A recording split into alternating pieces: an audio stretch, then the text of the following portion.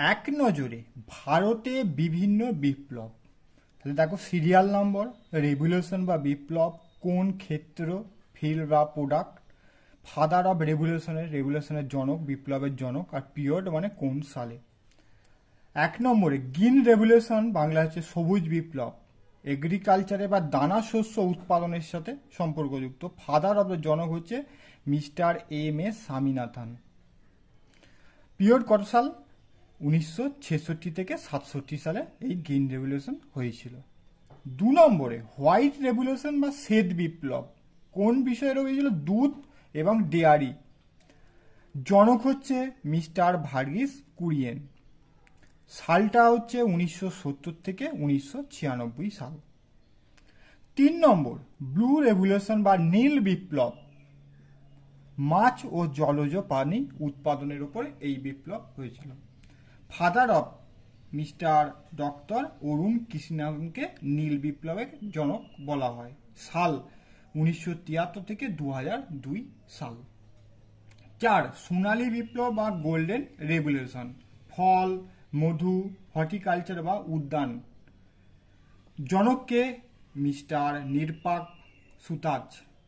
উনিশশো একানব্বই সাল থেকে দু সালের মধ্যে এই সোনালী বিপ্লব হয়েছিল। পাঁচ। পাঁচ হচ্ছে রূপালী, বিপ্লব, সিলভার, রেভুলেশন, ডিমের ওপরে। মিসেস ইন্দিরা গান্ধী, উনিশশো উনসত্তর থেকে উনিশশো আটাত্তর সালের মধ্যে এই সিলভার, বিপ্লব লক্ষ্য করা গেছিল ছয়, হলুদ, বিপ্লব বা ইয়েলো, রেভুলেশন, তৈল বীজের ওপরে। জনক হচ্ছে মিস্টার শাম পেট্টোরা উনিশশো ছিয়াশি সাল থেকে উনিশশো নব্বই সাল। সাত পিঙ্ক রেভুলেশন বা গোলাপি বিপ্লব। ওষুধ, ওষুধপত্র, চিংড়ি এবং পেঁয়াজের উপরে এই বিপ্লব। মিস্টার দুর্গেশ প্যাটেলকে এই বিপ্লবের জনক বলা হয়। সালটা দেখে নাও। সালটা হচ্ছে উনিশশো সত্তর। আট নম্বরে, বাউন বিপ্লব বা বাদামি বিপ্লব। চামড়ার উপরে জনক হচ্ছে মিস্টার হীরালাল চৌধুরী।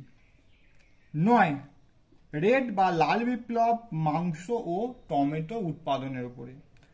মিস্টার ভিশাল তেওয়ারি হচ্ছে এর জনক উনিশশো আশি সাল।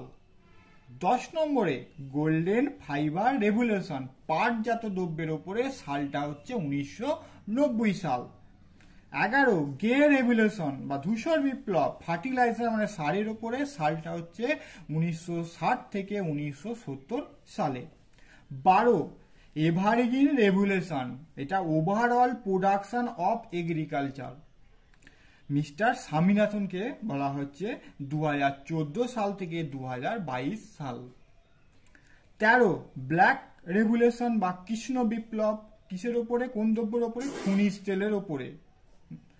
চোদ্দ সিলভার ফাইবার রেভুলেশন তুলাজাত দ্রব্যের ওপরে সালটা হচ্ছে দু হাজার সাল। পনেরো রাউন্ড রেভুলেশন গোল বিপ্লব কিসের ওপরে? আলুর ওপরে। গোল বিপ্লব, সালটা হচ্ছে উনিশশো পঁয়ষট্টি থেকে দু হাজার পাঁচ সাল। এবার আমরা জেনে নেব রামধনু বিপ্লব কি? বিশ্ব বাণিজ্য সংস্থার সত্র মেনে দু হাজার সালে দেশীয় চাহিদা পূরণের সঙ্গে রপ্তানির ওপর জোর দিয়ে নতুন কৃষি নীতি গ্রহণ করা হয়, একে রামধনু বিপ্লব বলা হয়। এতে বিভিন্ন কৃষি বিপ্লব অন্তর্ভুক্ত, কৃষি, উদ্যান, বনজ, আখ, মাছ, পোলট্রি এবং পশুপালনের একটি অবিচ্ছেদ্য উন্নয়ন কর্মসূচি। এর মধ্যে সবুজ বিপ্লব, নীল বিপ্লব, লাল বিপ্লব, ধূসর বিপ্লব, সোনালী বিপ্লব, হলুদ বিপ্লবের মতো অন্যান্য সমস্ত কৃষি বিপ্লবের একীকরণ বা একত্রীকরণ যেটা বলা হয়, অন্তর্ভুক্ত রয়েছে।